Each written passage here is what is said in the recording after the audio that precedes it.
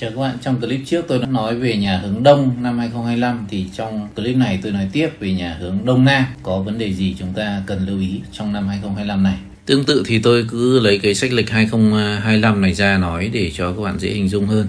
Thì năm 2025 này phía Đông Nam các bạn sẽ thấy là ở đây có sao nhất bạch mặc dù nhất bạch là tốt tuy nhiên lại gặp thái tuế và tuế sát ở tỵ và thìn nên thực ra là còn mỗi cái cung tốt ở đây là cung tốn nếu các bạn có đặt kích hoạt thì các bạn phải cố căn cho đúng cái cung tốn này mà, đặt đồ hóa giải, nếu không là sẽ nhầm lẫn nhé vì mặc dù là tốt nhưng nếu các bạn kích vào đây, đúng không? Đặt nhầm vào đây hoặc lệch vào đây thì nó sẽ không chính xác, nó sẽ lại tăng cái xấu của thầy tuế và tuế san lên. Và như vậy thì các bạn cũng đỡ phải thắc mắc với tôi là dùng hình ô vuông hay là rẻ quạt, đúng không? Các bạn phải chia ra và đặt đúng cái cung tốn thì nó mới kích hoạt được sao tốt nhất bạch. Đấy là cái điều đầu tiên. Cái điều lưu ý thứ hai là cái sao nhất bạch này có cả tốt cả xấu. À, mặc dù bản thân chúng ta thường nghe nó là sao tốt đúng không? À, sao tốt chủ về đào hoa xuất hiện ca sĩ diễn viên có triển vọng. Nhưng ở đây các bạn nhé đi kèm nhiều tai tiếng scandal và ờ, một vấn đề nữa các bạn hình dung là nhất bạch hỗ trợ về trí tuệ này trí thông minh sự nghiệp xuất ngoại thăng chức cũng có thể kích hoạt nhất bạch nhé nhưng nhất bạch này các bạn lưu ý là đây là nó chủ về đào hoa nhân duyên. Đấy tức là nó kích hoạt nhiều thứ nên là khi kích hoạt các bạn cũng phải cân nhắc. Thế nhá, sao nhất bạch thì liên quan cả tình duyên nên là các bạn kích thì được cả thăng tiến được cả nổi tiếng đúng không? Nhưng mà nó cũng được tình duyên được đào hoa nên là với cái người đang ế chồng vó thì các bạn kích tình duyên nó cũng tốt. Tuy nhiên là người mà có gia đình khi kích cái này thì cũng phải lưu ý cân nhắc. Tại vì là khi các bạn kích lên thì à, thăng tiến cũng có đúng không? Xuất ngoại cũng có nổi tiếng cũng có nhưng mà tình duyên cũng có nên là các bạn phải cân nhắc. Với những người mà chưa kết hôn chưa có tình yêu đang ế chồng vó lên thì không sao không phải sợ. Tuy nhiên người có gia đình thì các bạn phải để ý những cái mối quan hệ khác giới hết sức cẩn trọng vì nó đã kích lên đúng không? Nhiều khi là mình thì muốn thăng tiến nhưng mà lại vướng vào những cái chuyện đào hoa. Đấy, thì đấy là cái lưu ý tiếp theo và bây giờ thì tôi dùng tiếp cái cuốn huyền không đại quái vận chín này để nói về cái nhà cụ thể vì các bạn kích theo năm là ok rồi. Tuy nhiên là các bạn muốn chi tiết thì chúng ta phải nhìn cả theo vận xem là có vấn đề gì hay không. Tại vì là thường là chúng ta hóa giải thì bao giờ hóa giải vận trước rồi mới đến à, năm thì là sẽ tốt hơn. Và đây là cái sơ đồ đồ hình của nhà hướng đông nam vận chín ở trang 235 235 các bạn có thể dở ra xem. Tương tự nếu các bạn xem clip trước rồi thì các bạn biết uh, thìn tốn tỵ ở đông nam đúng không? Nhà hướng thìn các bạn thấy ở đây có 99 sao tốt. Thì tôi cũng có nói rồi ở đây chỉ nói nhanh lướt qua thôi. Các bạn trổ cửa ở đây thì bắt buộc phía đằng trước phải có sơn. Nếu không có sơn thì bạn phải hóa giải.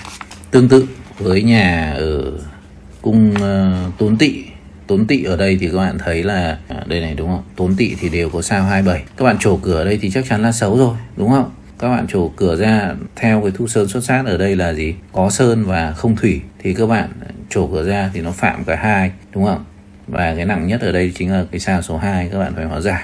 Ngay cả bên dưới này cũng có ghi chú này hướng 27 chủ về bệnh vùng bụng đúng không? Khó đẻ tà chứng kiện tụng thị phi lao tù đào hoa các kiểu. Đấy lại có thêm cả đào hoa ở đây để hóa giải hay kích hoạt thì các bạn phải dùng cái vật có năng lượng cao. Và trong clip trước tôi hướng dẫn các bạn dùng cái kim tự tháp ở trên trang ngọc phong thủy vn rồi. Nên là không nói lại nữa mà ở đây tôi hướng dẫn các bạn chọn ngày giờ với sao nhất bạch thực ra chọn ngày giờ này thì nó cũng đơn giản tuy nhiên là với nhiều người thì mọi người không để ý xem thì vẫn thấy nó khó. Nên là ở đây tôi hướng dẫn um, cho các bạn tìm kiếm. Thì các bạn cũng chọn đúng đặt cái kim tự tháp, hành thủy hoặc nếu các bạn theo trường phái dân gian đặt quả cầu thì đặt quả cầu đen, đúng không? Hoặc là ấy, ông dân gian nữa thì ông hay bê chậu nước. Tuy nhiên là trường phái chậu nước thì nó không hiệu quả vì năng lượng nó không có. Thì trong cái cuốn này tôi viết rất rõ rồi, tôi không nói lại nữa. Thì à, ngày giờ ở đây cũng, nó trùng khớp là mùng 5 tháng 1 đây này ngày giờ này thì tương tự với ờ, clip trước thôi. Các bạn chọn ngày giờ số 1 nó bay về phía đông nam thì lúc này nhị hắc nhập trong cung. Và khi nhị hắc nhập trong cung thì các bạn cũng chọn ngày giờ nhị hắc này 13 đến 15 giờ và chắc chắn thì 14 giờ đúng không? Nếu mà bạn uh, hóa giải cái vị trí số kích hoạt vị trí số 9 và số 1 thì đều có thể cùng một khung giờ làm được luôn. Tại sao tôi nói là cùng một khung giờ làm được luôn? Vì thực ra không phải mỗi cái hướng nhà của bạn là đông nam đâu cái hướng đông nam là nói để cho theo dân gian, cho mọi người dễ để ý, dễ quan tâm. Còn vị trí đông nam trong năm 2025 đều ảnh hưởng như vậy. Có nghĩa là nếu bàn làm việc này, đúng không? Bàn làm việc hoặc là cửa ban công đón khí này, giường ngủ ở vị trí đông nam thì nó đều ảnh hưởng, đều có tác động như vậy. Hoặc là xấu nhất thì là vệ sinh ở đông nam, nó cũng ảnh hưởng như thế. Nó chia tiêu cái sao số 1 đi, thì lúc đấy là thăng tiến nó khó hơn, đúng không? Ai cần thăng tiến khó hơn, ai cần nổi tiếng cũng khó hơn. Đấy, hoặc là ai muốn kích tình duyên chống ế thì mà có vệ sinh ở đấy thì là nó chưa tiêu đi thì chúng ta phải kích lên.